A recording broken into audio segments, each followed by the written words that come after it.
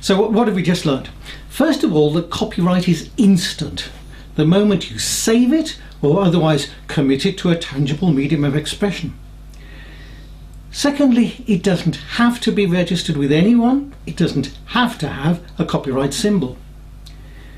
There are no copyright cops or authority that sorts out disputes. Copyright protection simply refers to the fact that you can pursue people through the courts if they use your original creative work without your permission. Copyright infringement is almost always a civil rather than a criminal matter. In practice, provided you go through the hoops when you create your work, you hardly ever need to recourse to law. 6.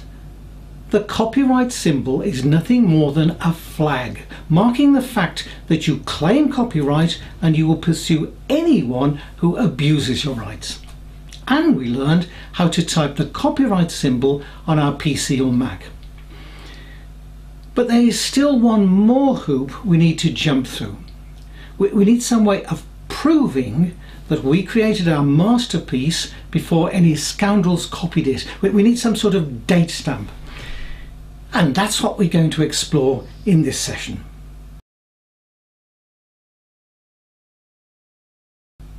poor man's copyright. Uh, there's long been a belief, and, and it may work, uh, that all you have to do is to package your manuscript, your music, your script, your software, your photo, illustration, film, whatever, and post it to yourself. If your postal service has a recorded delivery option, all the better. When the parcel is delivered to you, you do not open it, uh, but you file it away for use in any potential future dispute. What, what you now have is a sealed package, date stamped by an independent body, your national postal carrier, and inside, for any court to see, is a copy of your work that clearly existed on that date. I'm not wholly convinced uh, that it would represent irrefutable proof in a court of law. I don't know. Uh, I certainly haven't been able to find a single example of this ploy being used successfully.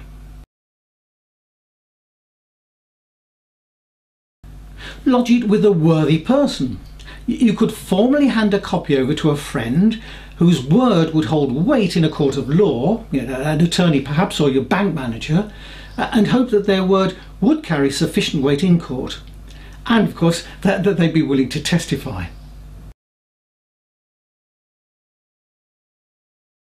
Use an online registrar. There are lots of independent commercial organisations you can find online who offer to act as a registrar for a fee. Some masquerade as being official, using words like authority in their company name. Uh, some don't even ask you to send a copy of your work. They simply say register and pay. Personally, I can't believe they add that much value, apart from perhaps a, a feeling of uh, peace of mind. This is purely my opinion. If you do choose to register with one, uh, I suggest you check what safeguards they do offer. Uh, they'll charge you, by the way, around 50 to 60 dollars uh, for five years worth of registration. Genuine national copyright registrars. In most countries, there is no governmental or quasi-governmental body that registers copyright. The United States is an interesting exception. They have www.copyright.gov.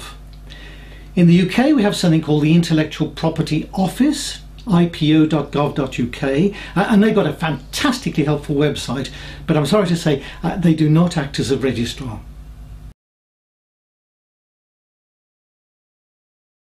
Published novels. Established publishers usually take care of copyright on behalf of their authors. Uh, that's part of the add-on value that they provide. If, however, you are using a service like Kindle, remember that you are self-publishing. Amazon or Kindle have no interest in helping you to secure your rights. It is up to you. ISBN. What, what, what is ISBN? An ISBN is an international standard book number, a formal, internationally recognized form of identification used by publishers, booksellers, libraries, and so on for ordering, listing, and stock control. So, in essence, it's a stock number.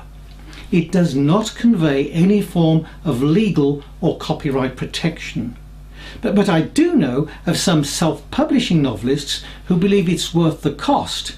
It's, a, it's about $15 for 15 different titles, simply to add another layer of formality onto their work. Uh, it, it can't do any harm.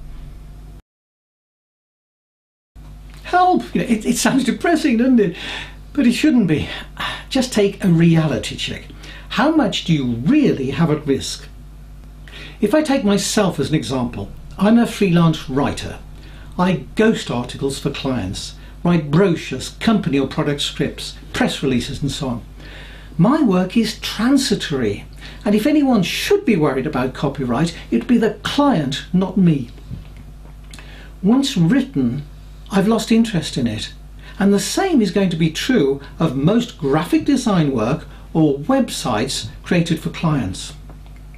The only things I need to protect are my business website and these courses.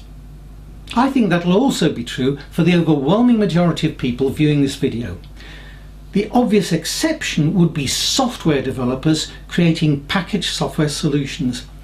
Instead of a transitory piece of work amongst thousands, a software package will represent a major investment in time and money.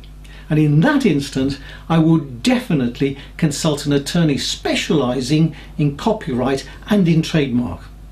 So for those of us that are really concerned only about things like our website and so on, provided we commit our work to a tangible form and warn people off with the copyright symbol, we'll probably never encounter a copyright breach.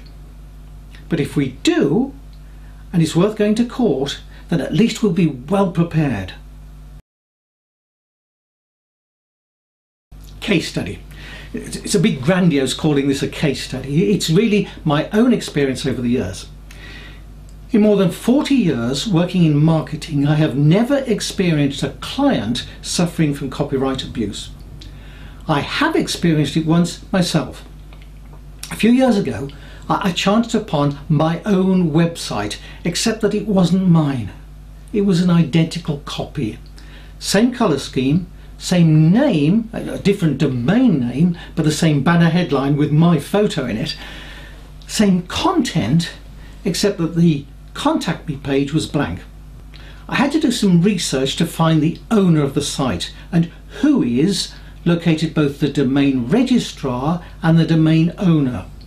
I forget now how I found her email address, probably using things like LinkedIn. But once found, I shot off a message, you are infringing copyright.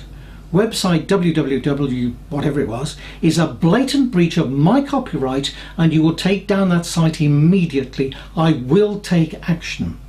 The site was taken down that day. It wasn't worth the risk. And that's the good news. If the value of our material is not worth the risk, people will simply copy elsewhere once they have been threatened. If our work is worth the risk, then we must be making so much from it that we can afford to go to court. With something called torrent sites, recorded music does have a real problem. And in our next video session, we'll take a peek at what the music and increasingly the literature sectors are doing to protect their work against online piracy.